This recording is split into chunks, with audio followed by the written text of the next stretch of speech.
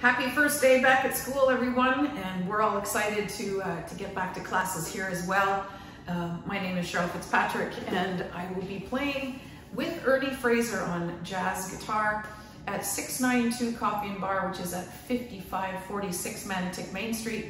And we'll be there playing on Friday, September 16th from 11 to 1.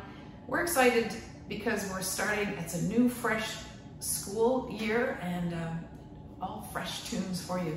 And we're going to be playing this tune here called Moon River, which was written by Henry Mancini, and the words were by Johnny Mercer.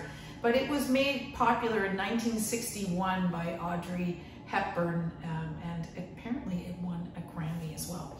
So here's a little bit of Moon River by Henry Mancini.